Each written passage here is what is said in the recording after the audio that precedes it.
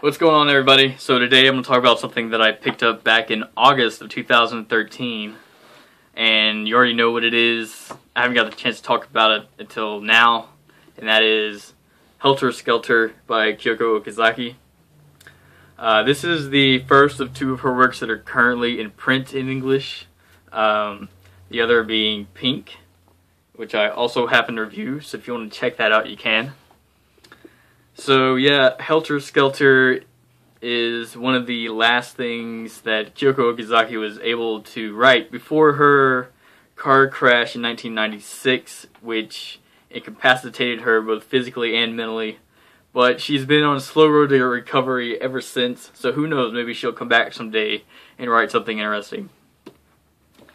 So yeah, if you don't know anything about Kyoko Okazaki, she is probably the most important person in Josei manga, or women's comics. Um, if I remember correctly, she pretty much started that whole thing. But yeah. Helter Skelter is a story that revolves around a girl named Liliko, who is one of the most beautiful and famous people in Japan at the time.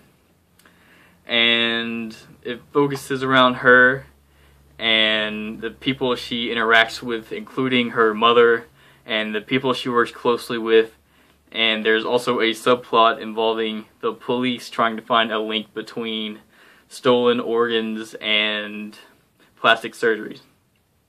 Uh, speaking of plastic surgeries, the reason that Liliko is so beautiful is because she is almost 100% fake. And that's not a spoiler or anything, I think that's in the first chapter, but yeah. And because of that, she is pretty much insane because of all of her beauty and power and all that kind of stuff. So yeah, that's pretty much the story of Helter Skelter.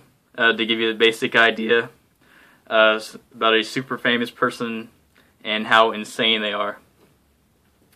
And uh, yeah, as you can see here, it is ages 18 and plus, and it well deserves that rating because there's a lot of sex and violence and nudity and out drugs and stuff like that in this book.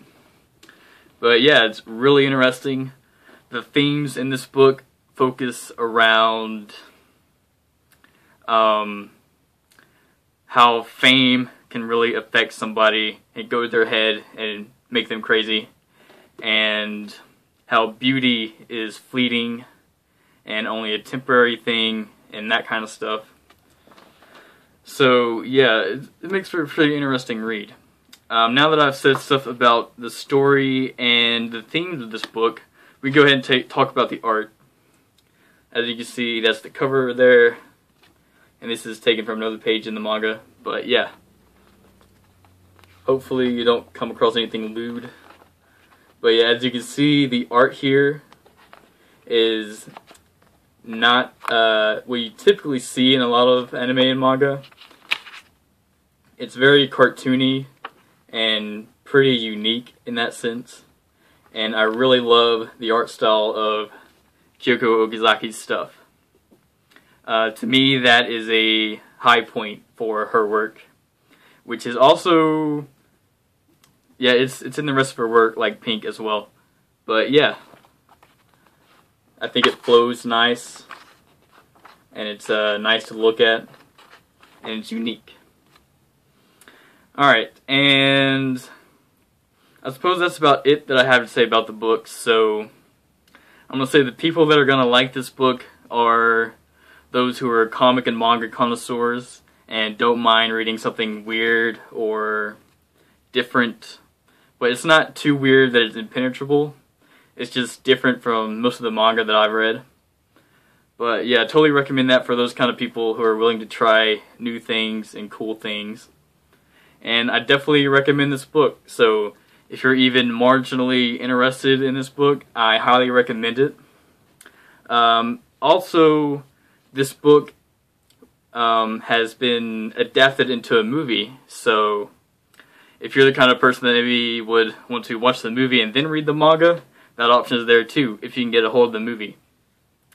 But yeah, in comparison to Helter Skelter and Pink, her other book, um, I actually like Pink a little bit more.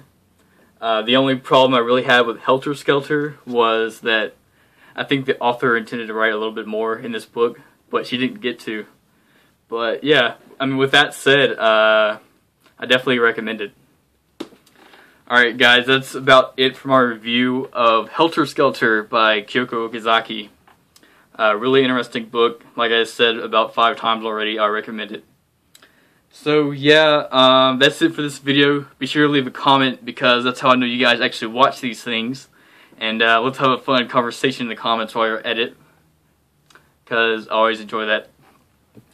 And yeah, I got lots of reviews coming up, both comic books and manga, and I hope to see you guys again real soon.